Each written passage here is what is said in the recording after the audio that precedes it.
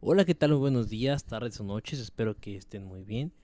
El día de hoy vamos a hablar sobre el equilibrio ácido-base. Vamos a entender qué es una acidosis, qué es una alcalosis y sobre todo cómo se produce, cómo se manifiesta clínicamente y de manera general el tratamiento. Les adelanto de una vez, el tratamiento de todas las acidosis y de la alcalosis depende de la causa clínica, es decir, tenemos que tratar aquello que cause la acidosis. Obviamente es importante tratar el padecimiento como tal, pero lo más importante es tratar la causa inicial de la patología. Vamos a empezar con un poquito de química básica y entender cómo es que se produce el pH y por qué es importante. Hay que entender de manera rápida que la unión del oxígeno con el hidrógeno, en cuanto a moléculas, se da por un enlace covalente polar. Este es relativamente fuerte, sin embargo puede disociarse por varios mecanismos. Ahora, ¿qué es lo importante? que cuando unimos tanto el hidrógeno con el oxígeno se forma H2O, ¿no? Que es agua, la fórmula química universal del agua. ¿Qué ocurre? Que esta es muy fácil de romper, relativamente fácil de romper, ¿ok? Esta se divide en dos, que se dividiría en lo que es hidroxilo y el hidrógeno, ¿ok? Que serían estos dos. Ahora, ¿qué ocurre? Que el agua es un aceptor. Si se rompe el agua, van a haber otras moléculas de agua que van a decir, oye, ¿sabes qué? a mí todavía me hacen falta algunos hidrógenos, entonces, ¿por qué no me mandas unos hidrógenos?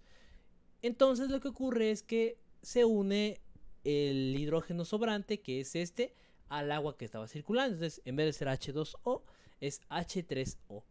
¿Esto por qué nos sirve? Porque, bueno, todas aquellas moléculas que sean aceptoras, es decir, que puedan recibir más hidrógeno, más iones de hidrógeno, que en este caso van a decir más H más, ok, más iones de hidrógeno, van a ser las, sí, las sustancias básicas, ok. Y las moléculas que den hidrógeno, es decir, que liberen hidrógeno por alguna reacción que se rompan, es decir, que en vez de que sea H2O sea OH y H libre, van a ser ácidas. Por ende, el número de moléculas de iones, o sea, el número de iones de hidrógeno va a depender si una sustancia provoca acidosis o alcalosis. Repito, es lo contrario. ¿Por qué?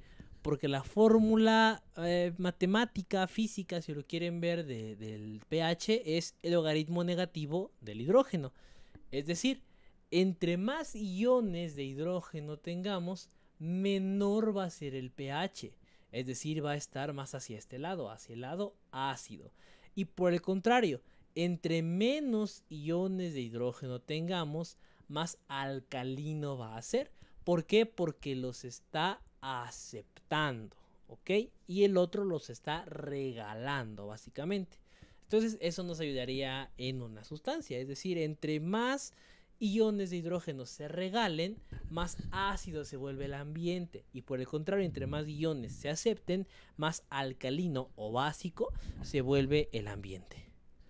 Ahora, ¿cuáles son los amortiguadores del organismo? Esto es importante de reconocer porque porque muchas o la enfermedad en general las enfermedades relacionadas con el trastorno ácido base dependen de cómo esté nuestro organismo. Es decir, si mi organismo no tiene buen, buen amortiguador, buen buffer, como también se le denomina, este no va a poder tener una adecuada transición y sobre todo no va a poder compensar el mecanismo que esté sufriendo. De hecho, esto es lo que vamos a mencionar ahorita.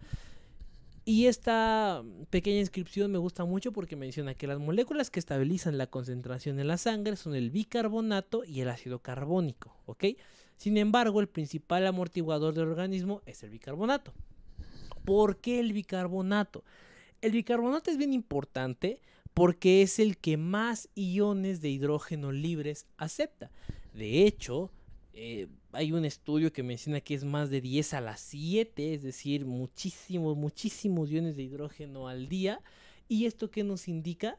Que el bicarbonato tiene que estar en cantidades muy elevadas porque es el que va a permitir que se divida en una reacción muy simple, simple entre comillas, ¿no? Porque el bicarbonato tiene esta fórmula química, ¿ok? HCO3. ¿Qué ocurre? Porque el hidrógeno está libre y entonces lo acepta, ¿no? ¿Por qué? Porque este es básico, ¿ok? Recuerden, todos los básicos aceptan hidrógeno. ¿Y qué ocurre con este básico? Ahora ya no es solo HCO3, es H2CO3. ¿Por qué? Porque acaba de aceptar un hidrógeno, ¿ok? Este hidrógeno que acaba de aceptar, adentro de la, del cuerpo humano se va a dividir en dos. H2O, que es el agua, y CO2. ¿Por qué esto es importante? Pues bueno, el agua se aprovecha para otras reacciones químicas, muchísimas, y CO2 es el que eliminamos, de hecho se llama un ácido volátil, porque se elimina a través de la respiración y de la ventilación. ¿A qué voy con esto? A que como el bicarbonato es mi principal base, me va a estar aceptando todos mis hidrógenos y los va a estar convirtiendo a algo que me sea más fácil de manipular. Por ejemplo, nosotros no absorbemos como tal algunas moléculas que sean muy grandes, sino que las dividimos en fracciones más pequeñitas. Por ejemplo, no absorbemos las proteínas de forma directa, ¿no? En el intestino, sino que las dividimos hacia aminoácidos y esas son las estructuras de nosotros. Eh, por ejemplo, la lactosa no se absorbe solo así, sino que se divide según la, glucosa, que al final de cuentas es la que entra a la célula. Eh, dicho esto, básicamente eh, la reacción del ácido carbónico no es que se una así de fácil al organismo, sino que se divide en agua y en CO2. Que el agua, pues bueno, se utiliza para muchas reacciones químicas y CO2 se utilizaría de manera principal en la eliminación de, del mismo. Que no es que solo se elimine, sino que también tiene un papel relevante, sobre todo como un amortiguador y como un mecanismo de aviso para el organismo en decir, ¿sabes qué? Tienes que ventilar más, o sea, respirar más rápido y más profundo, o menos rápido y menos profundo, según la necesidad. La disociación, lo que les decía, del el ácido carbónico da hidrógeno libre, por lo que este es el principio del metabolismo ácido-base. En síntesis, la capacidad por aceptar protones, es decir, la capacidad que tenga la sustancia, la molécula, para aceptar estos protones, estos hidrógenos, y cómo los va a poder metabolizar, ¿ok? Para que se entienda más fácil esta palabra, metabolizar en el organismo. Ahora, ¿qué ocurre? Que el cuerpo humano y en general los sistemas orgánicos tenemos una gran capacidad para poder aceptar y poder mediar las distintas concentraciones tanto de hidrógeno libre, que recuerden, entre más hidrógeno tengamos, más ácido es, y entre menos hidrógeno tengamos, más alcalino o básico es. Ok, los principales reguladores van a ser dos, va a ser el riñón y los pulmones, principalmente por una enzima que se llama la anidrasa carbónica, la mentada anidrasa carbónica. Ahorita vamos a ver para qué nos sirve. De forma general, tenemos tres tipos de amortiguadores o, buffers, ¿no? ¿Qué quiere decir esto? Cuando nosotros tenemos una cama, por ejemplo, de esponja y nos lanzamos hacia ella, el golpe no se siente tan duro al piso, porque obviamente hay algo que nos amortigua, ¿no? Tenemos un amortiguador que evita que la caída sea directa y sea pues, completamente dañina. ¿Qué es lo que va a pasar aquí? Que tenemos órganos y sustancias y procesos bioquímicos que permiten que la elevación o los cambios en el, en el, pH en general, sobre todo del hidrógeno, no afecten tanto como pues lo afectarían en otras circunstancias. ¿Ok? ¿Y cuáles son los principales? Riñón y pulmón. El riñón es un órgano que lo regula a largo plazo. Para que ocurra un efecto a nivel renal, ya tienen que pasar mínimo entre 2 a 5 días. Sin embargo, en el pulmón tarda de minutos a horas. Pero hay otro mecanismo que es mucho más rápido, puede actuar en segundos, que básicamente son estos, los amortiguadores inmediatos. La proteína principal que trabaja de forma directa es intracelular y la más importante es la hemoglobina. ¿Por qué? Porque sirve para la conversión del el CO2 gracias a la anidrasa carbónica.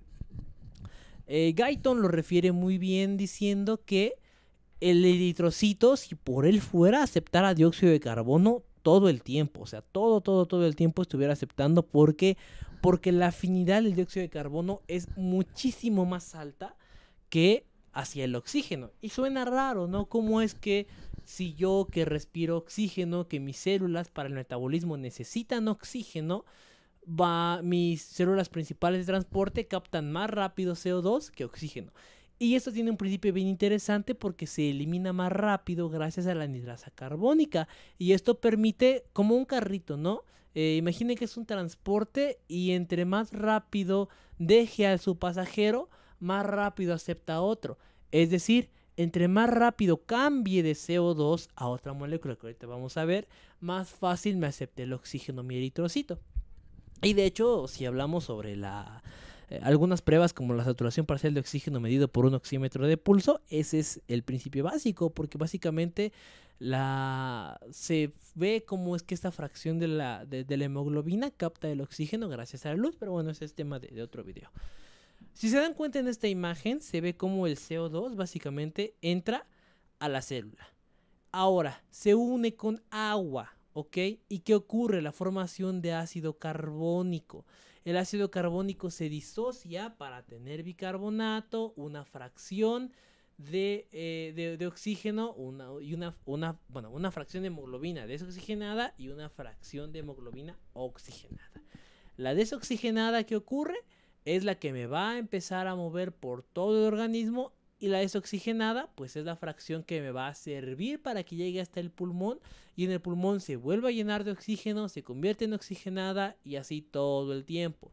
Pero ¿qué es lo que me importa aquí? El bicarbonato, ¿ok? La reacción de bicarbonato que se ha producido gracias a la unión del dióxido de carbono con agua. Este bicarbonato que se ha formado al final de cuentas en esta, en esta célula me va a generar una disociación. ¿En qué? En que el hidrógeno que se liberó de mi reacción de la hemoglobina desoxigenada a una oxigenada se une y me forma ácido carbónico. El ácido carbónico, como ya vimos anteriormente, se divide en dos. En agua, que me sirve para otros procesos bioquímicos, que de hecho aquí se ve cómo es que vuelve a entrar el agua, cómo es que vuelve a entrar el ciclo, cómo es que vuelve a salir hacia ácido carbónico, y el CO2 que finalmente se elimina.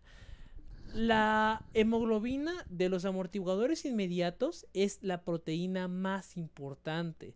Repito, ¿por qué? Por la anidrasa carbónica. Eso quiere decir que ¿qué?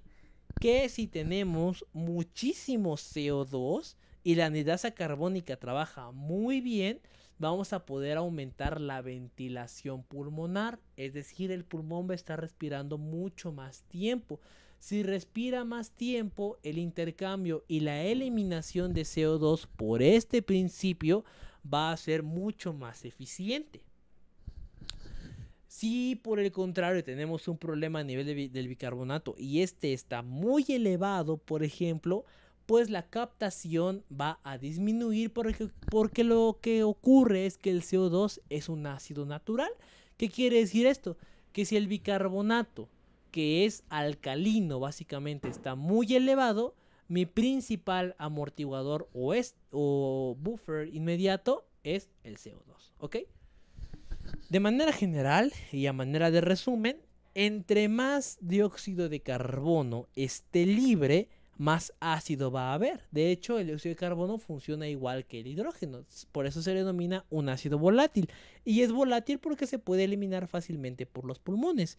Y por el contrario, entre menos dióxido de carbono haya, pues más alcalino va a ser, ¿no? Pues porque este sí funciona de manera directa.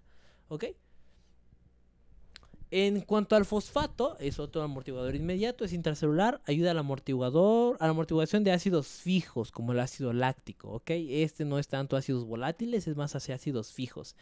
El tejido óseo capta el exceso de los hidrógenos, también funciona como un amortiguador en un estado ácido o libera carbonato. Su papel crónico, es decir, el papel de una acidosis crónica, funciona más por la acción de la PTH, ¿ok? De la hormona paratiroidea.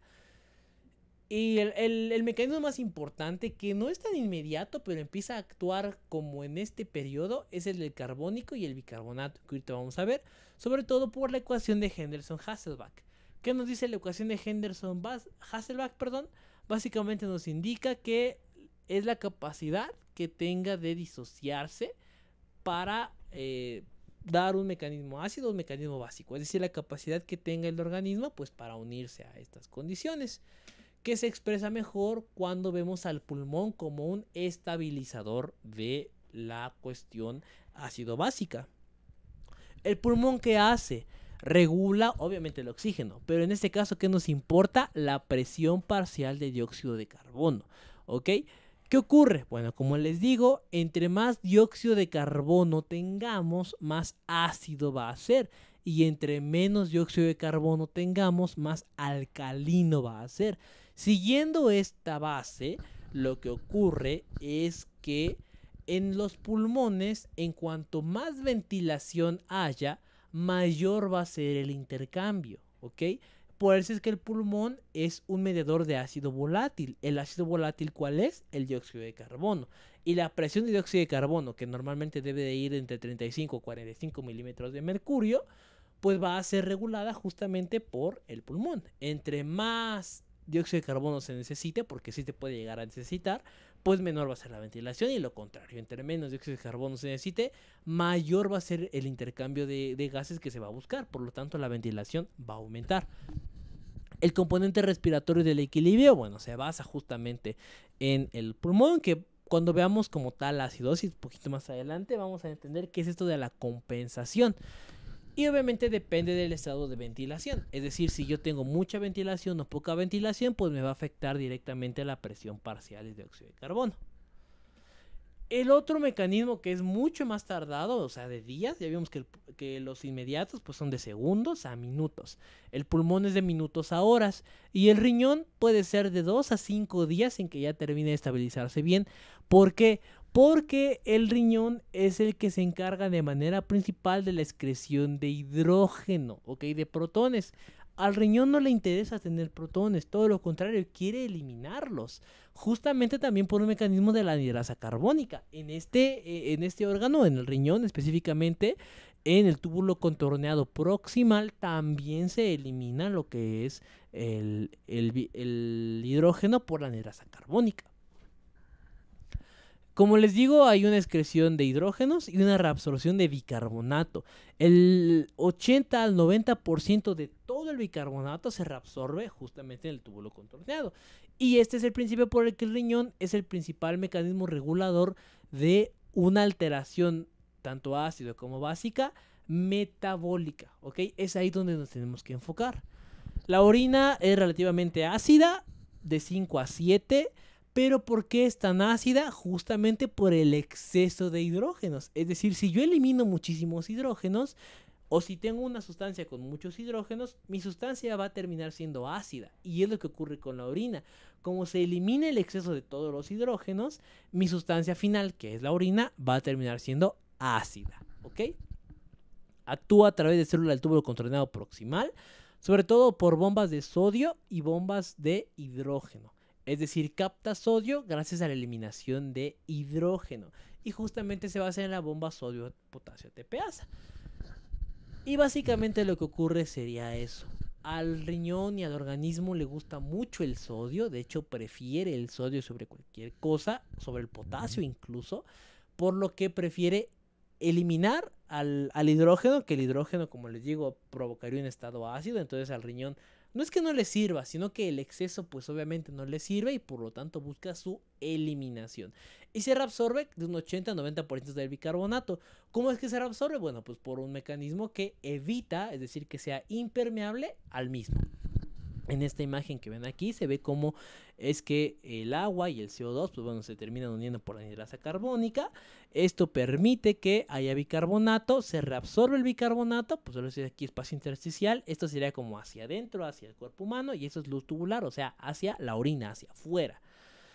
Esto que ocurre que bueno, esta disociación de H2O y CO2 que permite la conversión a bicarbonato elimina hidrógenos, lo intercambia por potasio y justamente esto elimina hidrógenos. Ok, el potasio de afuera entra y saca al, hidrógeno. El hidrógeno vuelve a salir por muchas reacciones químicas, por esta, esta bomba sobre todo de sodio-cloro y por otros mecanismos que lo que buscan como el amoníaco es eliminar a todos aquellos desechos que no necesitan, que en este caso muchos de los desechos serían el hidrógeno. Haciendo un resumen súper rápido, tenemos en cuenta que el riñón y el pulmón son los principales mediadores o los principales buffers del el sistema ácido básico. Esto se basa en el bicarbonato y en, el, y en la presión parcial de dióxido de carbono. ¿Ok? Esto como manera de resumen muy rápida. Ahora, otros términos que hay que conocer es el anion gap, el tan conocidísimo anion gap, que siempre es pregunta de rotación, para qué sirve, cómo se usa, cuáles son los valores normales. Pues bueno, grosso modo, anion gap se refiere a las diferencias entre cationes y aniones en el líquido extracelular. Un exceso de cationes o un exceso de aniones me altera el anion gap.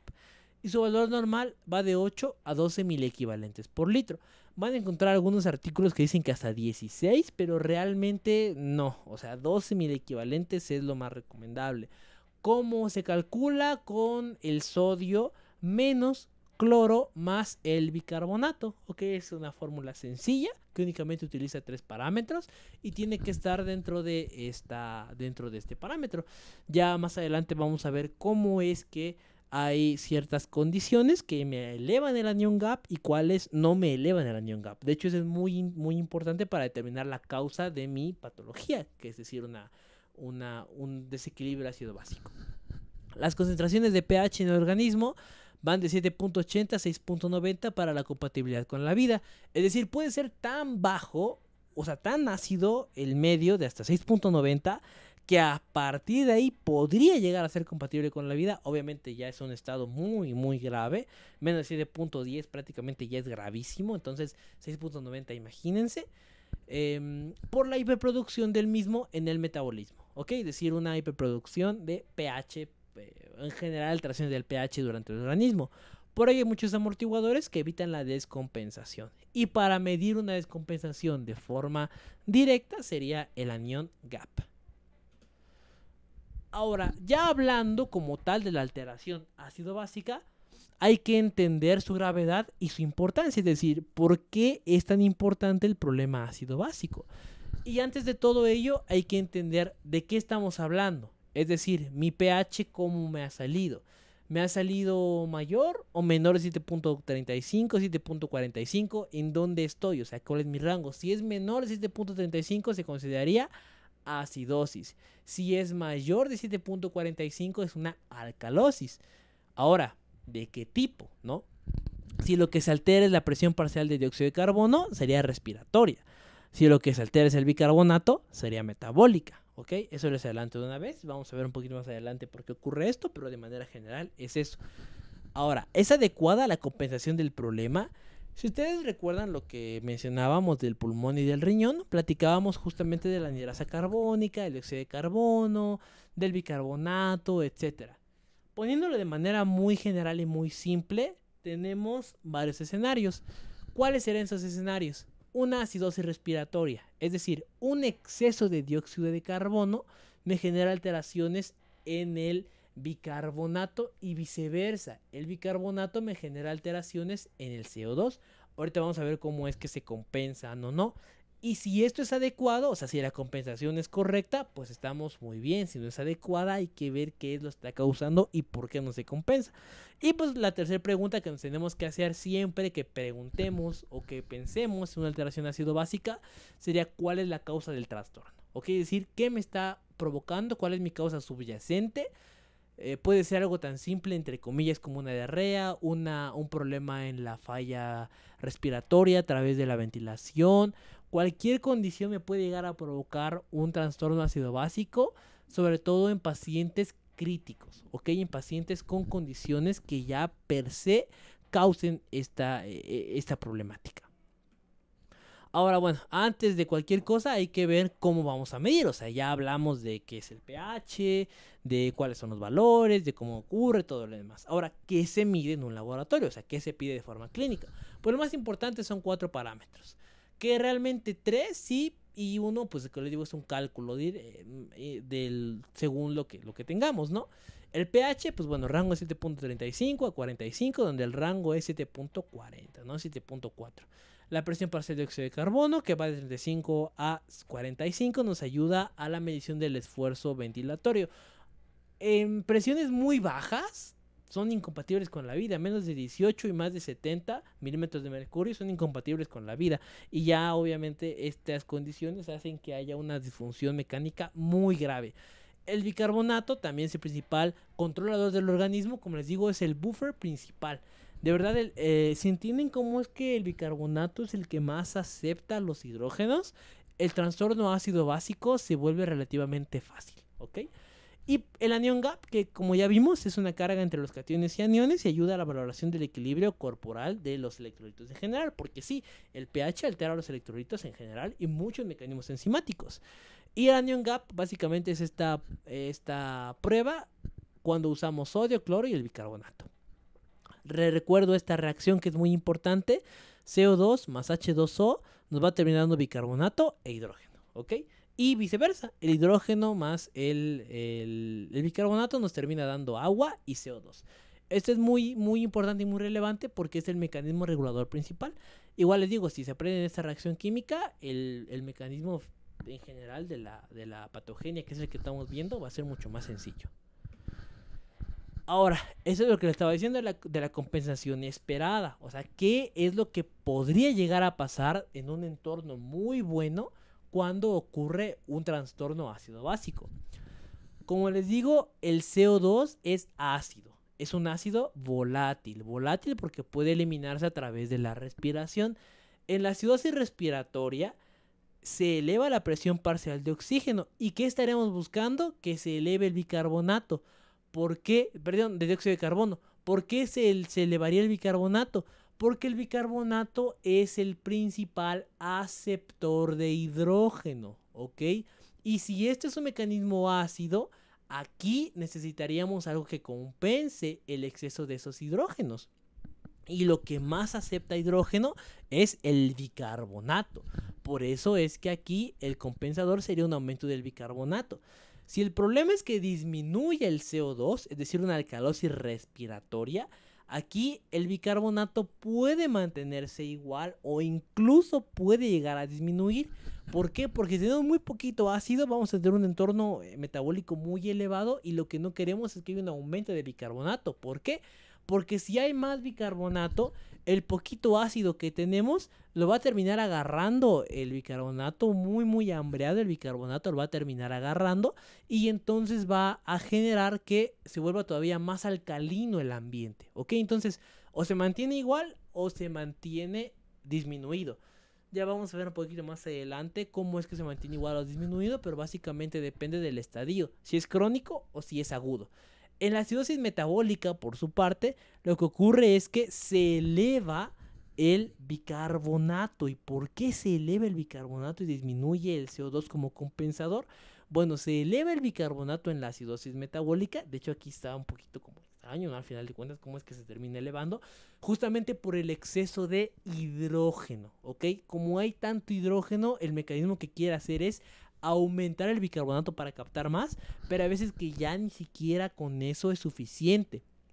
Y a pesar de que se capte el, eh, de que se eleve el bicarbonato, perdón, ya el exceso de hidrógeno es tanto que la acidosis está muy alta. Y obviamente disminuye el CO2 porque hay que recordar que el CO2 es un ácido, ¿ok? Entonces, si este se elevara, pues la acidemia sería mucho más alta, pero se disminuye justamente para hacer una compensación. Y la alcalosis metabólica, el bicarbonato se mantiene, pues obviamente no podemos eh, permitir que se vuelva a elevar porque se, eh, perdón, que disminuya porque entonces habrían otras complicaciones, ni que se eleve por las complicaciones. Y la presión de dióxido de carbono busca elevarse justamente para que sea más ácido el ambiente. Es decir, si yo tengo una alcalosis metabólica, voy a elevar el CO2 porque el CO2 hace que se vuelva más ácido, o sea, hace lo contrario. Esta es la tabla de lo que le estaba explicando. La acidosis respiratoria eleva el CO2, puede elevar el bicarbonato para compensación y baja el pH. Que cuando se descompensa, cuando ambos estén altos, ¿ok? Muy, muy altos. Cuando ambos estén muy, muy altos, va a estar descompensado. La acidosis metabólica disminuye el bicarbonato, disminuye el CO2, disminuye el pH y pues bueno, ocurre esto, ¿ok? La crisis respiratoria lo mismo y bueno, estas flechitas básicamente nos indican lo que les estoy diciendo. Pero recuerden que para resumen, el bicarbonato es el principal regulador y el dióxido de carbono también es el principal regulador. Entonces, al final de cuentas, lo que más me importaría sería cómo es que se desarrolla mi bicarbonato y mi dióxido de carbono, mi presión parcial de dióxido de carbono, siendo más exacto. Ahora, y a todo lo que hemos mencionado, ¿para qué nos sirve el pH en el cuerpo humano? De manera general, nos serviría para una función proteínica y enzimática. Muchos procesos como la glucólisis, la gluconogénesis, la mitosis, la síntesis de ADN, funciones inmunes, funciones de transporte, de intercambio de sustancias a nivel intracelular, funcionan gracias a un pH adecuado y un equilibrio de pH. ¿Ok? Y equilibrio de otros factores, porque como ya vimos a nivel del riñón, pues bueno, hay bombas intercambiadoras, sodio-potasio, sodio-hidrógeno, potasio-hidrógeno, la linearasa carbónica, etc. Entonces, si hay un desequilibrio en el pH, puede haber un desequilibrio, o hay un desequilibrio en el hidrógeno, va a terminar afectando sodio, potasio, fósforo, el mismo hidrógeno, lactato y bicarbonato, y los uratos y la cetoacidosis puede llegar a verse comprometida en el caso. Los cuerpos cetónicos que llegan a provocar cetoacidosis en las alteraciones del pH. ¿Ok? Entonces por eso es muy importante mantener un equilibrio del mismo. Ahora, ya mencionamos que hay estudios de laboratorio y estos puede, el más relevante sería la gasometría. Y yo les pregunto, ¿cuál usar? ¿Gasometría arterial o venosa? Antes se tenía un consenso de que únicamente podía usarse la arterial. Eh, por muchas cuestiones. Hoy en día se sabe que la venosa también es un buen parámetro. Sin embargo, lo que sí hay que cuidar mucho en la gasometría venosa es la presión parcial de óxido de carbono. ¿Por qué? Porque hay que recordar que la venosa tiene muchísimo menos oxigenación que, el, eh, que, las, que la sangre arterial. ¿Qué ocurre? Que la venosa es una prueba más fácil y menos dolorosa. No es lo mismo que se pinche una vena, que pues es mucho más rápida, que se pinche una arteria, ¿no? Que incluso la técnica es mucho más complicada. El pH y el bicarbonato realmente son muy similares. De hecho, si se dan cuenta aquí es una variación ah, súper pequeñísima, 0.03, 0.05 de una vena central a comparación de la arterial a 0.02, 0.04 una periférica, o sea, realmente no. En este caso, el bicarbonato sería igual que el arterial. En la vena periférica podría ser un poquito más elevado que el arterial. Pero esto sí nos importaría un poquito más en el anion gap, sobre todo en el cálculo del anion gap. Pero, como les digo, incluso lo puede, puede ser discriminatorio. O sea, lo, lo podemos discriminar al final de cuentas, ¿no? Discriminar en el sentido de eliminarlo, ¿ok? Presión parcial de oxígeno, puede, esta sí tiene una variación. Por ejemplo, en la vena central es más alta y en la vena periférica es un poquito más alta, incluso hasta 8 mil equivalentes por litro, a comparación de la arterial. En este sentido, ¿cuál es el gold standard? La arteria. Pero, ¿qué ocurre? Que la prueba venosa o la gasometría venosa es más útil en la hipoperfusión tisular. ¿Por qué? Porque no se siente el pulso. Si no siento el pulso, pues me voy a guiar por la vista. O sea, utilizamos distintos órganos sensoriales. Si el pulso para la gasometría arterial no me está dando la información que yo necesito, pues utilizo la, visual, que al final de cuentas puede ser una vena, por ejemplo, entonces sería mucho más útil. Ahora que se dieron cuenta que la sangre capilar, sobre todo de los dedos y del lóbulo de la oreja, del oído, sirve y tiene una similitud arterial muy buena en el sentido de la presión de dióxido de carbono. Es decir, podríamos utilizar sangre de los capilares, de los deditos y del lóbulo de, la oreja. Sí, podríamos utilizarla porque justamente tiene una similitud muy mm, ad hoc a lo que es la arterial. Ahora ya hablando directamente de los trastornos, ya entendimos cómo es que se forman los trastornos, cómo es que se eh, amortiguan los trastornos, vamos a ver cómo es que ocurren los trastornos y por qué ocurren al final de cuentas. Ahora, la acidosis metabólica es bastante común. ¿Qué ocurre? Que hay un descenso del pH justamente porque esto es la definición de acidosis, o sea, un pH menor de 7.35 por alteraciones en la síntesis o en la eliminación del bicarbonato. Ya vimos que el problema metabólico es el bicarbonato, entonces si desciende el pH por un problema en la síntesis o la eliminación del bicarbonato, va a terminar provocando esta situación. ¿Cuál es el mecanismo compensatorio? Una alcalosis respiratoria. ¿Por qué una alcalosis respiratoria? Porque bueno, si tenemos una acidosis, al final de cuentas una alcalosis respiratoria provocaría una disminución del CO2 para que no haya ácidos volátiles. El tratamiento debe ser la causa subyacente. No se usa bicarbonato como tratamiento y esto es bien interesante porque ustedes pueden preguntar y decir, a ver, si mi problema es un déficit de el bicarbonato, ¿por qué no uso bicarbonato? Pues bueno, ya nos hemos dado, ya se, hay muchos estudios que se han dado cuenta que el uso de bicarbonato tiene muchas más complicaciones a corto, mediano, largo plazo y pues bueno, muchas más alteraciones a comparación de otro tratamiento. ¿Qué se buscaría mejor? Tratar la causa subyacente. Y aquí es muy importante el anion gap. Algunas de las enfermedades con anion gap elevado, es decir, mayor a 12, sería la AKD, que AKD significa enfermedad renal aguda, ¿ok? O insuficiencia renal aguda, CAT, cetoacidosis diabética, acidosis láctica, la rabdomiólisis, sepsis y muchos tóxicos, ¿ok?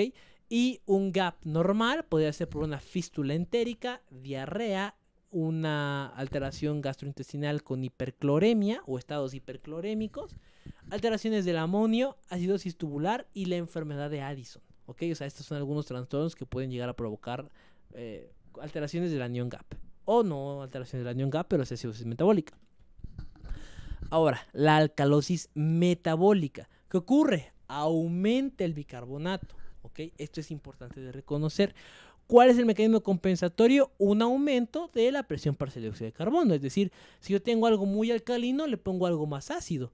Es como cuando hacemos una receta de ponerle gotitas a algo. Es decir, primero le pongo una gotita de esto, luego otra gotita de otro para generar un equilibrio como una báscula. Entonces aquí mi báscula me busca, ok, si me voy mucho por el lado del, la alcalosis, le meto algo más ácido. Si me voy por el lado ácido, le meto algo más, más alcalino, ¿no? Esto es lo que ocurre aquí al final de cuentas.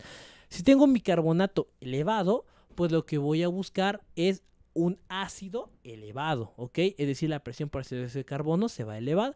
¿Y cuál sería la definición eh, final al final eh, de todo esto? Sería un pH superior a 7.45.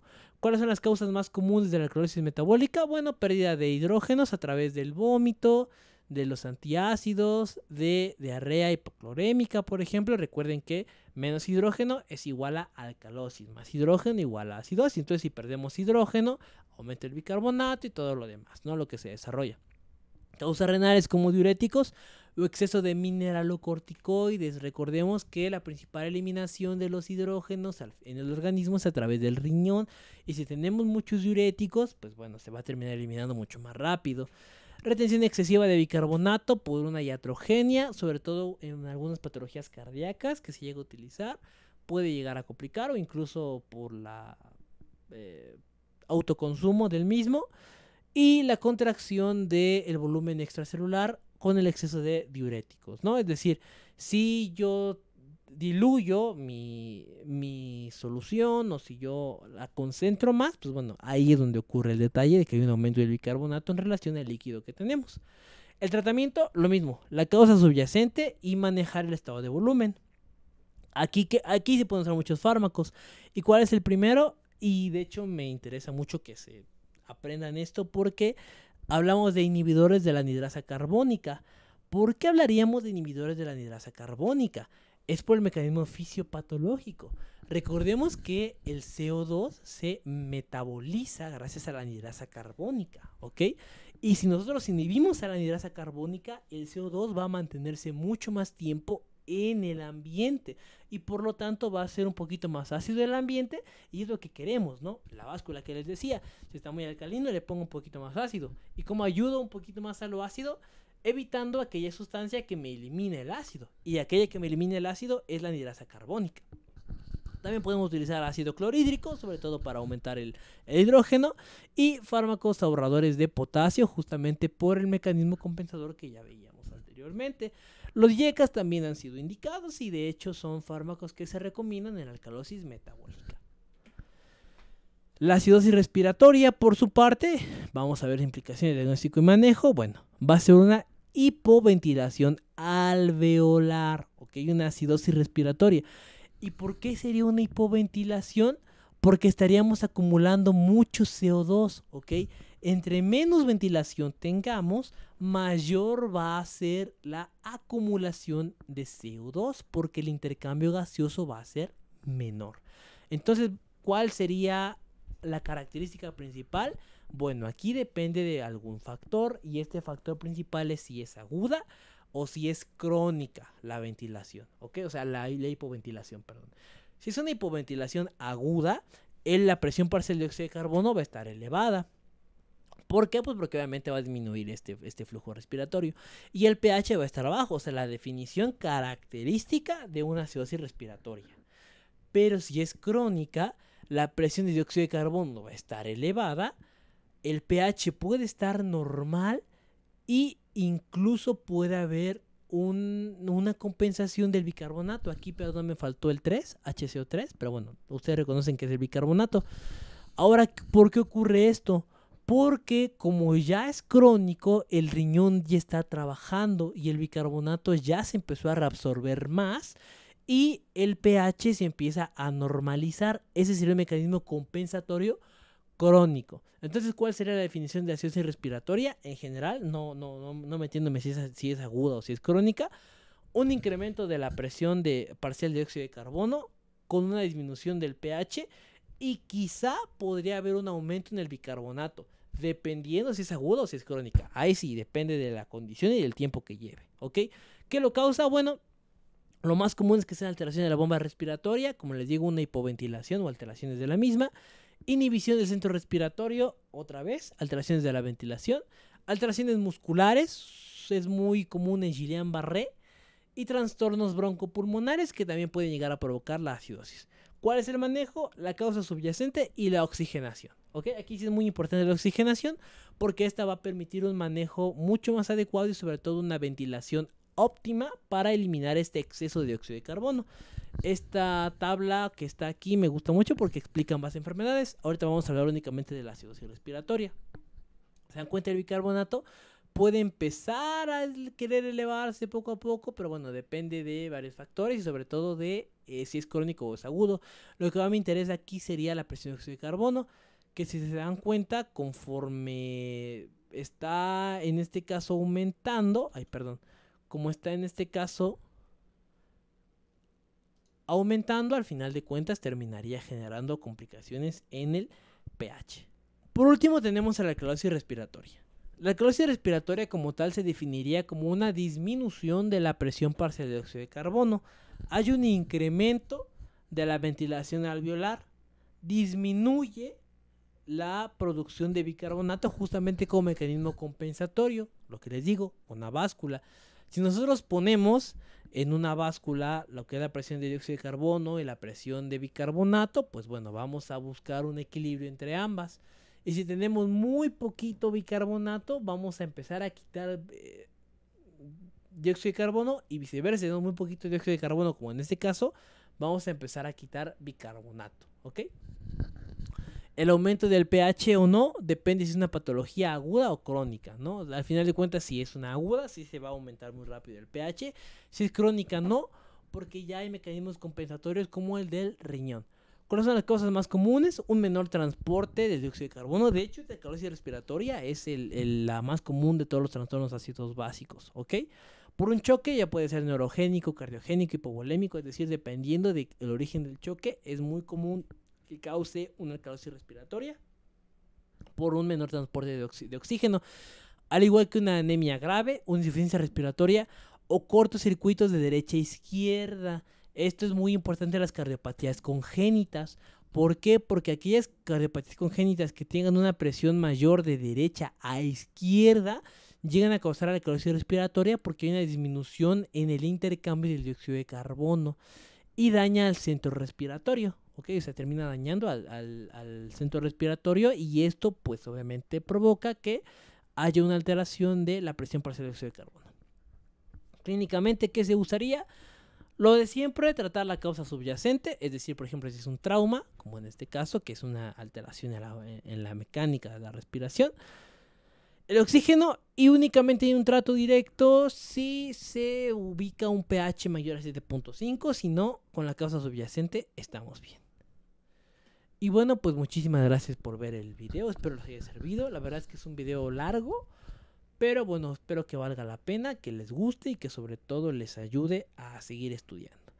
Como saben, aquí están todas las referencias utilizadas en el video. Ya saben que si les gustó pueden dar a like, suscribirse, compartirlo dejar un comentario.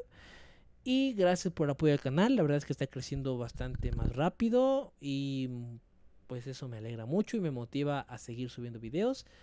Espero que vean muchos más videos de este canal y que tengamos muchos más videos de este canal. Dicho esto, pues bueno, de nuevo gracias por ver y nos vemos hasta la próxima.